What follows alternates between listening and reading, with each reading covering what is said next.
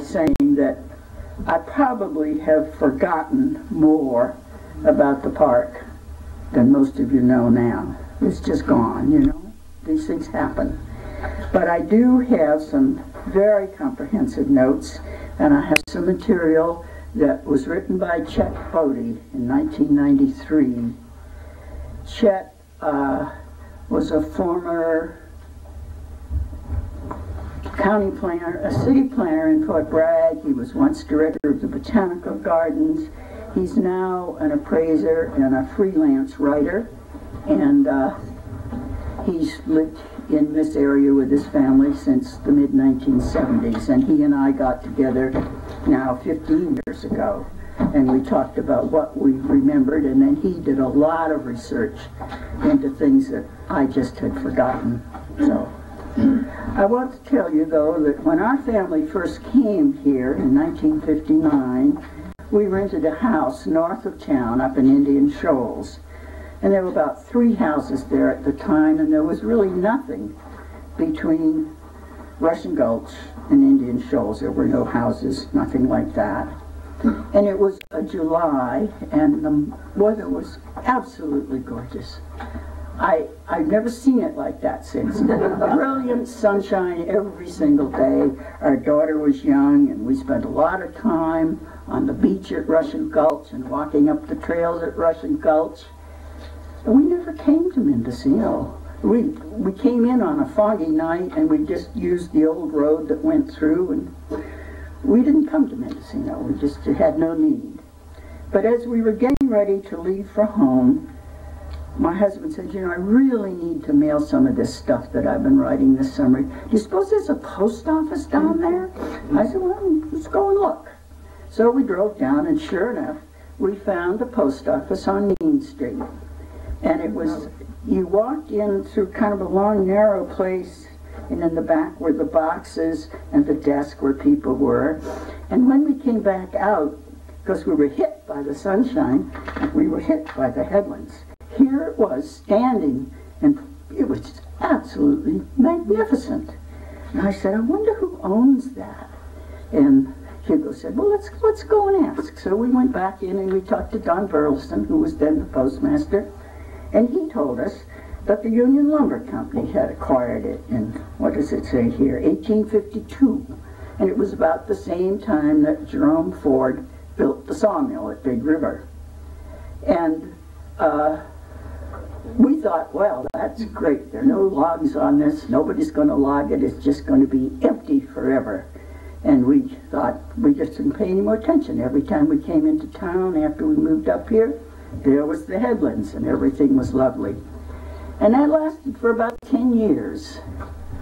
And then in 1968, early in the year, there was a notice in the paper that Boise Cascade had bought out all the holdings of Union Lumber Company. Now, Boise Cascade was a big international forest products company and also a developer. And the rumor spread around town that Boise Cascade was going to put condominiums on the headlands and they were going to build a big hotel. And, you know, Nobody ever saw any plans from that. I'm sure they never did. But nobody needed to see them. You know, just the very idea that somebody was going to build this stuff was more than any of us could imagine. And so, this, a movement began, led by Emmy Lou Packard, who was a local artist and activist. And the village had grown quite a bit. There had been sawmills all along in the coves all the way. But by this time, there was only one large mill left, and that was in Fort Bragg, and uh, it was until recently, I guess, owned by Georgia Pacific. At, but Mendocino itself had been discovered and rediscovered many times. In the 1920s, there were the very first of the early tourists they came up in their cars that sometimes made it and sometimes didn't, from what I could read, on roads that were sometimes good and sometimes not so good.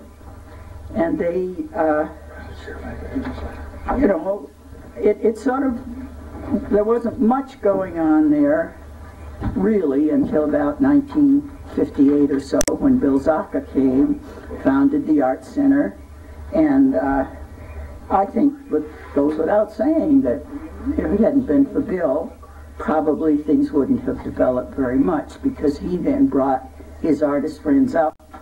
They took residence here.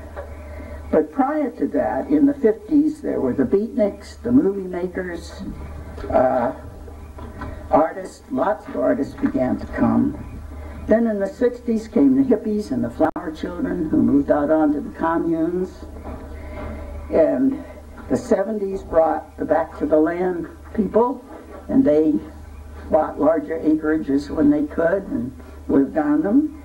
And then in the 1980s, the bed and breakfast people came and they took over. But Emmylou Packard was an artist and an activist, and she is honored by the black, by the bronze plaque, which we all know on the headlands, which credits her vision and perseverance for the preservation of the headlands. She really started it all. I, just can't say enough about her. She was absolutely magnificent. She knew everybody. She knew who to write. She spread the word. She got some of her artist friends, and I think kids from the high school and other people around town to work with her. They wrote letters. They sent out petitions. They uh, they just worked and worked until the word finally reached all around the country.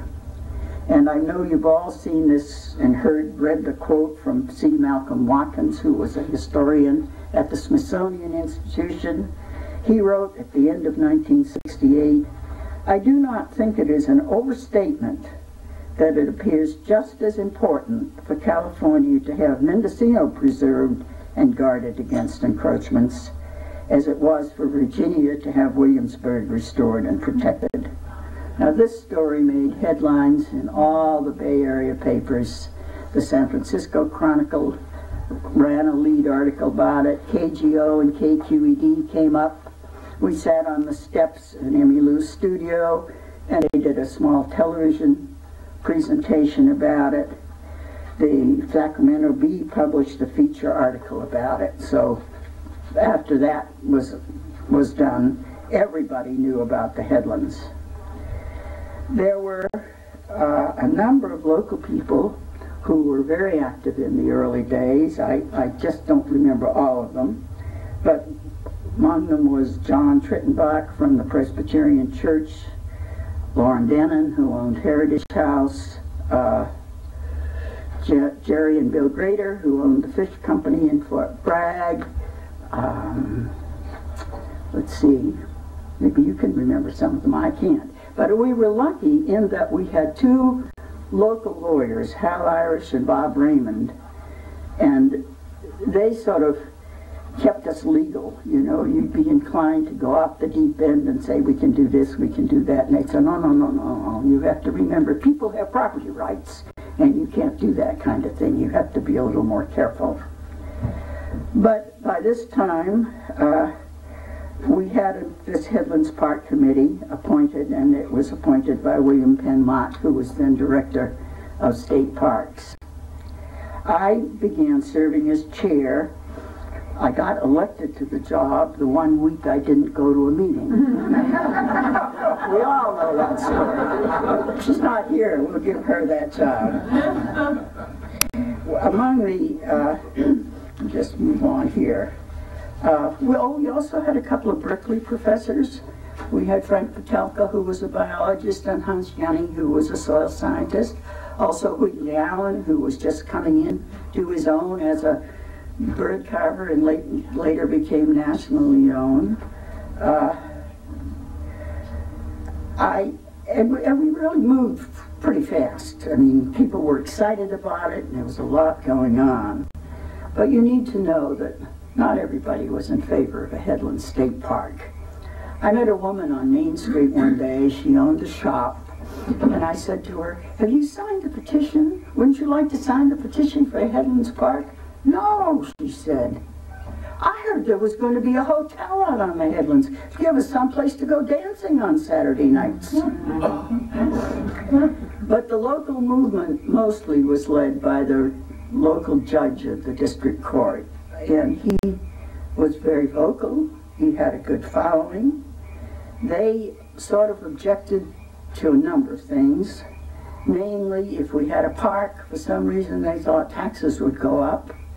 Uh, they also felt they didn't want state parks and recreation acting like Big Brother and telling them what to do. If somebody wanted to build a building, let them build it. That was their right. They also were, they objected pretty strenuously. There was a local incorporation movement going on in 1968. They objected to that. They knew that was going to bring more taxes. This part proposal, in order to really make headway, had to be approved by the Mendocino County Board of Supervisors and by the Resource Committee in both houses of the legislature. And that was my job to do that and go over and, and convince them. And I was at a Board of Supervisors meeting one day, the third or fourth time I'd been over there talking to them about it. And that was the day that Judge Heathcote came over to present the opposite side. And he sat at the very front of the room. He spread all his papers out on the table in front of him. And he made a speech uh, saying, we don't want this park, and gave reasons for it. And every time anyone from the board would ask a question, he made another little speech about how bad this was. And I'm trying to edge my way toward the front so I could say something. And finally, there was a woman whose name was Mrs. Butler. I think she came from Anderson Valley. She was the only woman on the board. And she said, Judge, I think it's time to let the park lady speak. Mm -hmm. So I got a chance to make my presentation, and mm -hmm. I had the park lady title for a while after that. Emmy Lou and her husband Byron owned the big uh, White House across from the Presbyterian Church. And Emmy Lou later built a studio in the back. I think they came here about 1959. And it was in that studio where we worked uh, gathering signatures, writing letters, and doing all this kind of thing. The first thing I did, or one of the first things, I had a friend who was head of the State Department of Recreation. Her name was Rudd Brown. And I wrote and asked her, you know, what could we do to get some money if that was necessary to buy this headlands? And she said, well, the state doesn't have any money to buy anything. I suggest you try for a land swap. Well, I, people kind of perked up their ears about this was because we knew there was no, we didn't know where there would be local money to buy it. So we began to have beginning negotiations, I guess they were not even negotiations in the beginning, just some talks with Boise Cascade about the possibility of swapping the headlands for some piece of land which they might want to have. But at the time, William Penn Mott, who uh, was in charge of this for State Park, said that that the state park idea was would be totally dependent upon establishing the community as a historic district. He did, he and state parks people did not want just anything, and then they always mentioned McDonald's and Taco Bell. We don't want those on Main Street, you know. And he uh, came up with a plan, or the Parks Department came up with a plan, in which they proposed buying all the property on the on Main Street, leasing it back, and then uh, restricting vehicles would be only a walking place, and even maybe restoring the sawmill. Well, when that plan was presented, everybody was upset.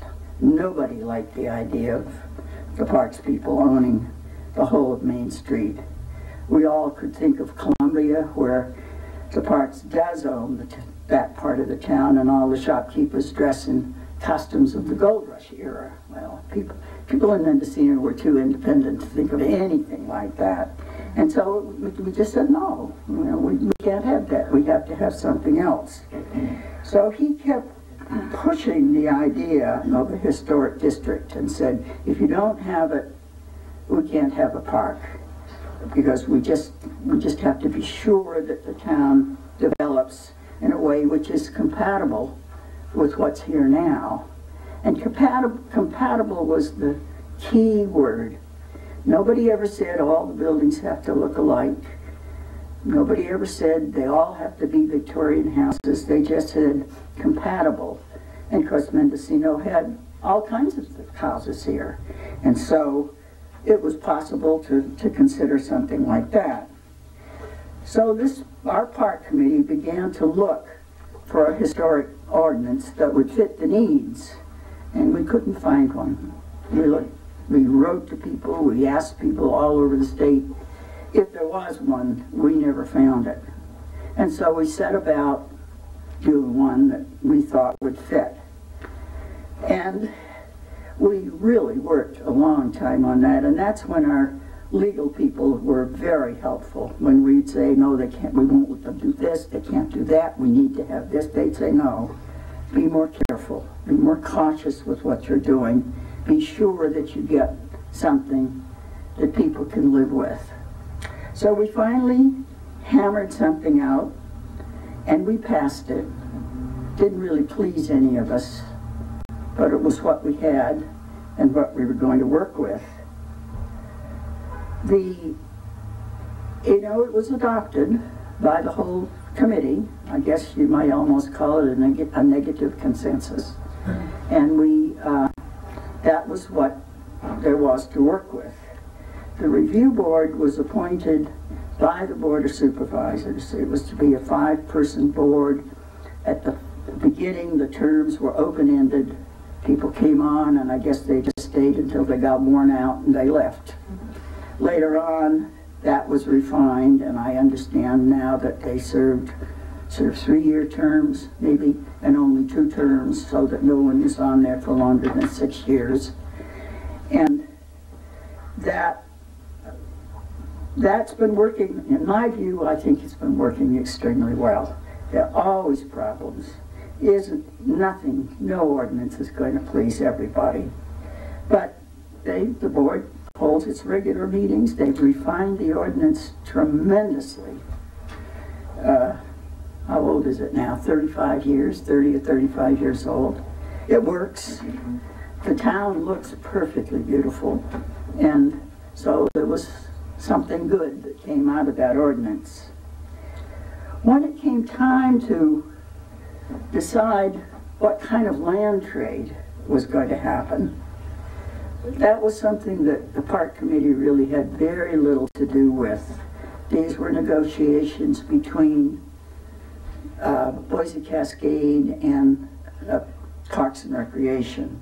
They sent a resource man here, a finance man here, and they worked on this for a long time. And the first thing they proposed was that Boise Cascade would exchange the headlands and 1,632 acres from Ten Mile Beach almost up to Leggett. And in, in return, they would get some prime logging land in the Hare Creek drainage. We didn't know for sure what that was going to be, but Parks did not want the land from 10 Mile north to Leggett. They said there was not enough land for people to use, and they were interested only in, you know, beaches and, and bluffs and cliffs where there could be trails. So that was tossed aside. And then came the big question of, well, what else can we get if we're not going to take that? I have to say that Bill Grader, who was at that time an acting resource director of, of for the state, was just great. He knew everybody around Sacramento, and he particularly knew Randolph Collier, who was the uh, Senate chair of the Resources Committee. And he went to Randolph and said, we've got to find something that these people can have if we're going to give up logging land. Well, Collier's district had just been changed, And instead of being an inland uh, senator, his land was to include a lot, lot of the north coast. And so he came over with most of the park committee, with Bill Mott, with the resource director from state parks, with their finance man, with several members of the state legislature. And we had an all-day tour. And we had already made up our minds, let's try for the land from Pudding Creek to 10 Mile. And see, well, it turns out Boise Cascade thought that would be fine. By this time, their road was eroding away and they couldn't use it anymore. So there was the 630 some acres, which was on the west side of the Haul Road, and it ran from just north of Pudding Creek up to 10 Mile. So finally, it always amazes me when I read these figures, this deal finally was agreed upon in 1972. Boise Cascade got 977 acres of forest, forested land in Jackson State Forest, and it was then valued at $900,000. It, it was about a mile south of Highway 20 near North Fork Camp, if you know where that is. It had an estimated 20 million board feet of redwood, Douglas fir, and grand fir. That's what they wanted, and that's what they got. In return, state parks got 659 acres, which included the Mendocino headlands and the Big River Beach west of the bridge. And this 573 acres along a four mile stretch from Pudding Creek to 10 Mile.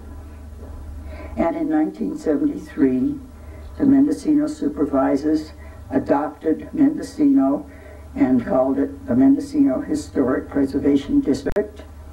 And by 1974, we had an operating park. Now that all sounds simple, and by, by today's standards, you know, it really is. It was six years, something like that, five or six years, and things on the whole went along smoothly. Nobody was pleased. The Sierra Club was opposed to the land trade. The a lot of the local conservationists wanted Boise Cascade to get only one-time logging rights on land, not a piece of land, but they wanted land and that's what they got. Uh, since then, there's been a lot added to what was the original Mendocino State Park, and most of this has come gradually over the years. The parks uh, acquired 100 acres or so south of Big River. Uh, they acquired land then east of the bridge, and they had plans to add other pieces of land further south. The idea originally was that they would like to uh, make Van Damme and the Mendocino Headlands Park sort of join. I don't think that's ever come. I, I don't know that the last pieces of that have ever been acquired. But there was bond money in those days, in, in the 80s and early 90s, to buy land, and they did that. So that's what the park now contains. And they published a new plan in 1977, and all of these pieces were included in that land. By this time, Georgia Pacific had acquired Boise Cascade, and they, you know, it was a done deal by then. So they, uh, of course, had to agree with what, what, had, what had happened. Right now, uh, the local parks people, the, the ones, people in Fort Bragg, don't have money to really manage all these things. They hardly have money to, have the park rangers do. I mean, we don't have, I guess, we don't have fireside talks and lead walks and that kind of thing. I'm afraid they mostly have to act as policemen. So today, there's really very little to remind any of us of the kind of town that Mendocino must have been a hundred years ago. Uh, it's changed considerably and I think for the better. Buildings have been restored and painted. Fences, broken fences have been fixed. Uh, there are nice shops now. Uh, mostly, I grant you, geared to tourists. We're always we're always looking for a shoe repair shop, but we never got a shoe repair shop in Mendocino. Meaning there's bookstores and ice cream parlors and clothing stores and the kinds of things that are helpful for all of us, but were particularly, I think, attract, made attractive to the tourists. And so in many ways, Mendocino uh, has developed exactly the way everybody hoped it would. There isn't a phone pole or a power line in sight. PG&E offered to underground power, and uh, this was accepted by most people, but even that was controversial. At the time, people were saying, but if you put all the lines underground, where will the birds sit? but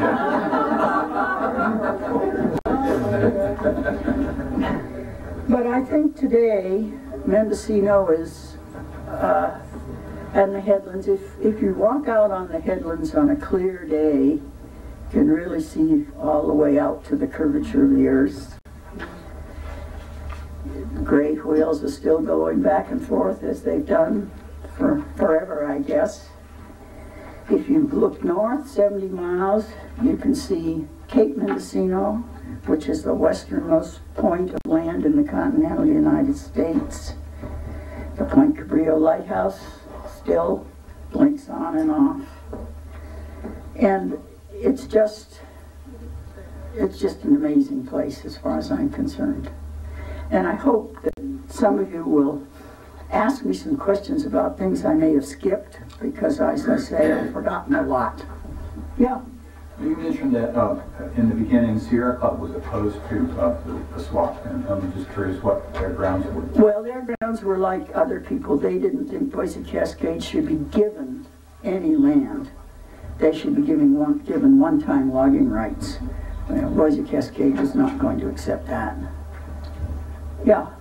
How did it come about that the district became Mendocino and Headlands Historic District? It became it came about because state parks would not accept the headlands as a park unless the town had historic preservation. And so the park committee, and there were lots of people on that committee, Mendocino and Fort Bragg people, who put together an ordinance. This ordinance was passed by the Mendocino Board of Supervisors. And that's the present ordinance that covers the district now. But in 1971, it was accepted by the U.S. Department of the Interior? No, not the, no. It, it, this is all state. But in the, the district was accepted by parks because that was part of the deal. No park, no, no historic district, no park. So we had to get a historic district and boundaries had to be drawn for it. But it had to be, the le our legal entity was the Mendocino County Board of Supervisors, and they had to approve it, and they did. They approved it in 1973. yeah. While you were talking, my mind went a couple of times up to Fort Bragg, where 40 years later, there's that incredible, beautiful stretch of headlands that's owned by um, Koch Industries. I don't think anybody knows quite what they do. Um, none of these things are in place any longer. There's, there's no possibility, is there, that, I mean, there's not the bond money, there's, could something like this happen there? Do you ever, do you see that as a possibility? I mean, Well, for one thing, it's much larger. uh-huh. So I think it's probably going to, my personal view is there ought to be a park there. There ought to be Mhm. trails along the headlands. Mhm. And I understand the Coastal Conservancy gave some money to have a trail go along there. Mhm. Uh, You know, when you, in the whole view of things, this is a small park. Mhm. And it was a, an entity that people could latch onto and everybody who came into town could see it. Mhm. Nobody can see what's in Fort Bragg. That's true, I have no. But I, and I expect it'll take a lot of hard work by a lot of people Mhm. to do, there'll be some commercial development, no doubt about it. You know, uh, you know, when, when, when the portion of, of the park included all that land west of the Haul Road, there were already one or two things on the east side of that road. And you know, that road's developed, there are big motels up there. And, and that's okay, you can still walk the Haul Road and, and get out on the beaches. Right. So there, there's gonna have to be some kind of adjustment made, certainly. Right. Helen? Um, did you and your husband buy any, after you came up here, did you buy any acreage yourself? Yeah, we bought 20 acres on the Comptche Road. And the reason we, we bought it out there was that the second summer we came to spend, we expected the same glorious summer, uh-huh. and we didn't get it. We had 30 days of fog from morning till night, and all night long. And so we began to drive out and look, and we'd see sun out there, and we'd say, oh, it's going to be sunny when we get back. Well, it was not. So we decided we would prefer to live inland where there was more soil. Also, my husband wanted a garden, and you couldn't garden on the bluffs very well. So we bought 20 acres on the country road, and that's where I lived until three years ago. Yep. I live on Middle Ridge in Albion, which at one time was where the Albion Nation was, Yeah, all the yeah. hippies. Yeah. And neighbors of ours um, remember when Mr. Mott, from California's viewpoint, wanted to turn Mendocino into the quote Williamsburg of the West Oh, yes. and have everybody wearing those Wearing the costumes. costumes. These hippies and flat, forget that. They were the, they weren't the only ones. When this plan was presented, there was a big meeting at the high school, and I remember that Loren Dennen chaired that meeting. And when that plan was presented, you could hear, you could feel, oh, this we can't have that. we didn't want Mendocino to have people go dressed in costumes. We wanted it to be a town that would live and grow, and, and it has. But protecting the But protecting the important parts of it, uh, like the headlands. You know, yeah. I, uh, I've been visiting the Headlands for a number of years, and the uh, native plant community on the North Bluffs is just absolutely, absolutely so beautiful, and then there are native plants all the way around the edge that are very special, to not seen too often. Was that ever a factor? Did people recognize just how nice? Oh, yes, I guess I forgot to say, I knew there'd be something I forgot. Wheatley Allen and uh, Frank Pitelka, who was a botanist biologist, they uh, inventoried a lot of the plants. And, uh, and uh, that has to be somewhere, I don't know where, but it's been done, yes. And I know that the classes now from the College of the Redwoods come down from time to time.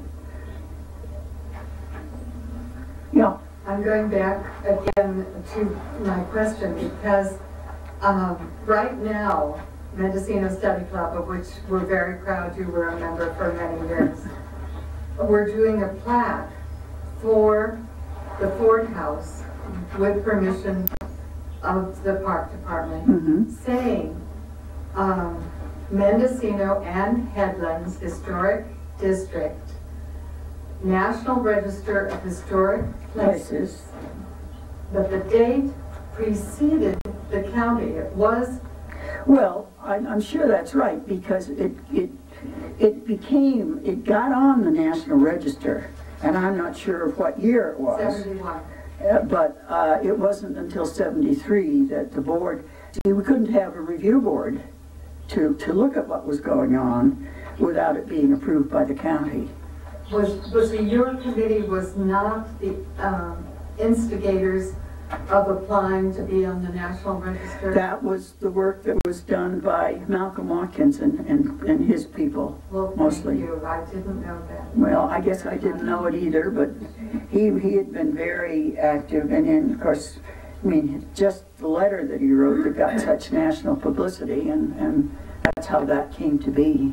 Yeah. Thank you. Mm-hmm. So the board's involvement was really approving and establishing the uh, historical review board. Mhm. They didn't, and they didn't in a sense identi- identify us as a historical district uh, that had already been, No, that was done by the state, okay. but it had to be approved by the board, and it had to be approved as well by both houses of the legislature, and I went over both times to those hearings. I have to tell you a funny story about that, too. I went over first to um, the assembly, and Frank Belotti was our assemblyman at that time, and he saw me come in, and he came up and he escorted me to the front of the room, and he told people who I was and what we were doing, and asked me to make a presentation, and, and then he asked if there were any questions, and or anybody had anything to say, and they voted, and they voted unanimously to approve the concept of the park. Then I went across to the Senate, and uh, Randolph Collier was the senator then, and he sort of looked at me and waved, you know, he guessed he knew who I was. But he made the presentation for the park. I just stood there with my papers in my hand. And when he finished, he said, um, let the gavel up like this. Any questions? Any comments? It's passed. That's the way that went. So it did go through all the agencies, all right, so. Yes, Um, was the population or lesser or more at the time, in the seventies here, or in the sixties, in the actual, I, I don't know specifically, I don't think the population has changed a lot, has it? There, there there haven't been that many new buildings.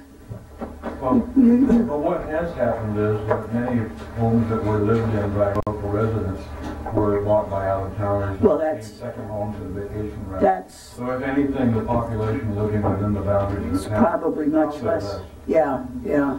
Yeah, because we, li- when I, in the years that we lived out on the Comptche Road, there were lots of pl- places that were built out there from time to time, but not many in town, no. No, and Occasional house. Mm-hmm. up Little Lake Road. Yeah, Little Lake Road is another place where they're live. Well, I thank you for asking me to come. Mm-hmm. I think I've told you all I know. Mm-hmm. I'm going up and look at that display up there and then see what I can find out that I don't know about.